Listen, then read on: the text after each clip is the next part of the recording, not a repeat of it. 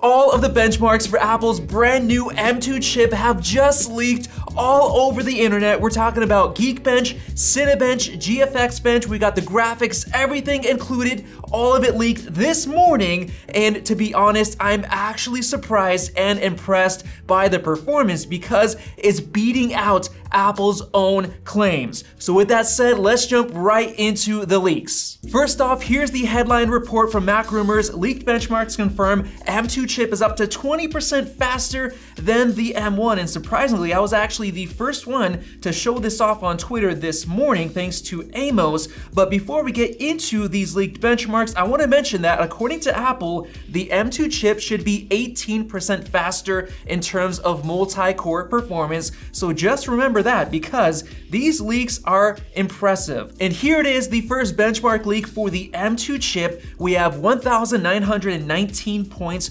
for single core and 8,928 points for multi-core, which is better than I personally estimated around five months ago when I made the M2 performance estimation video. But before I show you guys just how much faster that is compared to the M1 chip, I wanna go down into the system information and point out the base frequency. We have 3.4 49 gigahertz, which is actually quite a bit faster than the previous M1, which was sitting at 3.2 gigahertz. So that means the clock speeds are sitting at around 11% higher than the M2 chip. And keep in mind that this model does have the 16 gigs of RAM, so it's not 24, which the 24 model could actually score higher than this. But going over to the Geekbench browser, we can see that the best score for the M1 chip was 1,700 720 in terms of single core, and in terms of the multi-core, we got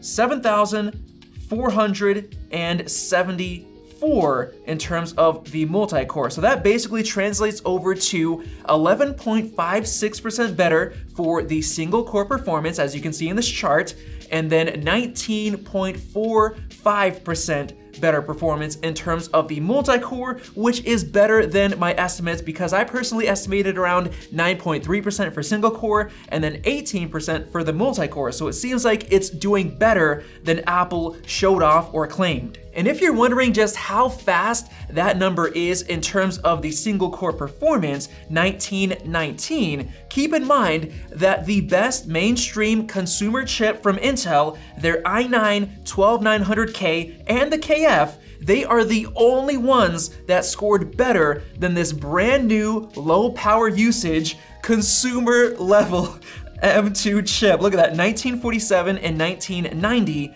compared to 1919. But wait, it gets better because there was another league score, 1927, even better for the M2 chip. Now, I know a lot of you guys are gonna say that it's Geekbench and it doesn't really show the real world performance or the performance under an actual workload. Well, thankfully, the Cinebench scores leaked as well as you can see right here. In terms of the single core, we have 1,738 compared to 8,794 for the actual multi-thread or multi-core in Cinebench, which basically makes the single core thread performance 13.5% faster, which is actually very, very impressive. However, the multi-core is only 11.6% faster than the M1 chip in terms of Cinebench R23, which is a little bit disappointing, but keep in mind that Cinebench is still not fully optimized for Apple Silicon. Yes, it runs on Metal, they got it to work on Metal instead of actually working through Rosetta, but it still uses Embree, I think it's called, so it's still kind of tuned for x86 chips and not for Apple Silicon. But now with that said, let's move over to the graphics performance, which Apple says the M2 chip is 35% faster than the M1. But you have to make a distinction here because the M2 chip actually has two more GPU cores. It has 10 instead of 8 with the M1. So that's 25% more cores. So with that said, we should have expected 25% extra performance right out of the gate, but Apple is showing off 35%, which means around 10% more from the actual IPC improvements themselves, which I thought was a little bit disappointing, but check out these new GPU leaks in Geekbench Metal. 29,800 30 2, which is actually higher than my initial estimate five months ago of 28,874, which basically makes the performance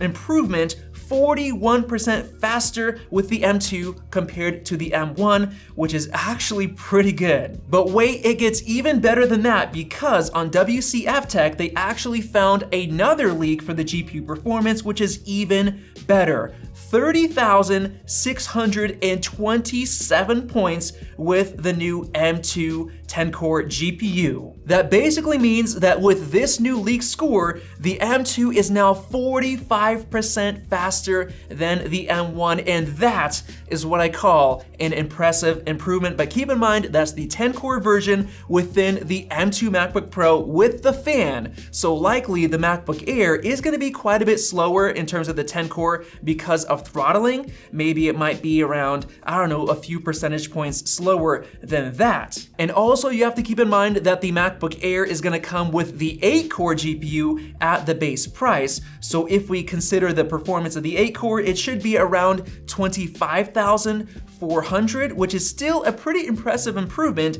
compared to the 21,000 that you get with the M1. And once again, I know a lot of you guys don't like Geekbench, especially in terms of the metal performance, so thankfully we also got some leaks with GFX Bench as well. As you can see right here, we have some new scores for the M2 chip, and I've put up a comparison with the M1. Now, in Aztec Ruins normal tier, we have 295.6 FPS, compared to 203 FPS with the M1, which is 45.6% faster, which almost perfectly matches the score that we got with Geekbench. So this is pretty reliable, and I'm actually excited because I was not expecting that much of a performance improvement. Now moving on to Aztec Ruins High Tier, 109.9 FPS compared to 77.4, which is 42% faster than the 1440p Manhattan 3.1.1 off-screen 175.8 compared to 122.3, which is 43.7% faster, so it's staying pretty consistent.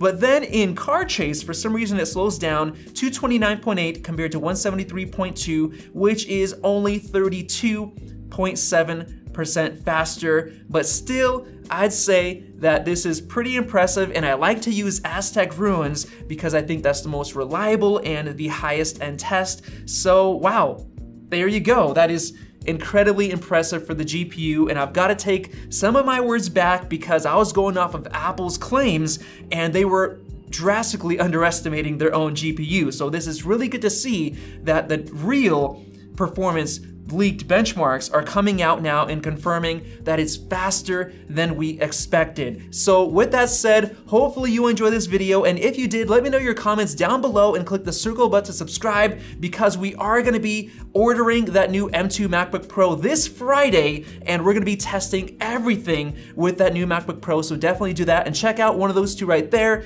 Thanks for watching, and we'll see you in the next video.